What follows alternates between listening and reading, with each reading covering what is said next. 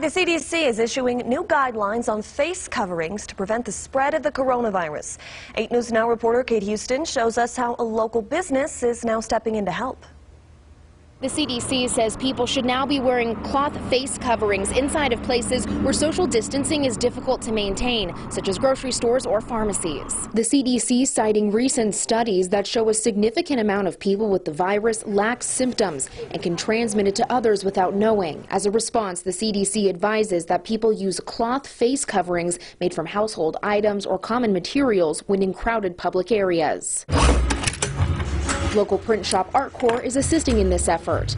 Over the past week, they've teamed up with a uniform maker to produce 25,000 cloth masks for local construction workers.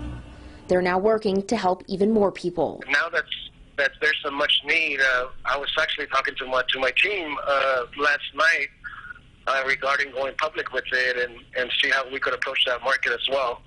Don't have a game plan. Everything's changing by the minute, so you know, we try to think out of the box and come up with solutions uh, to help the community at the same time keep my, my guys working. The CDC, along with Governor Steve Sisolak, want to remind the public that the cloth face coverings recommended are not surgical or N95 masks. I do not want people to go buy surgical masks or N95 masks that are so desperately needed in our hospitals to where to go to the grocery store and pick out your produce.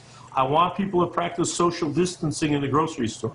Would it be a nice thing for them to wear a scarf or bandana in the grocery store? Yeah, that's probably a good idea. The CDC says it's still crucial to practice six feet of social distancing to slow the spread of the virus. Kate Houston, 8 News Now.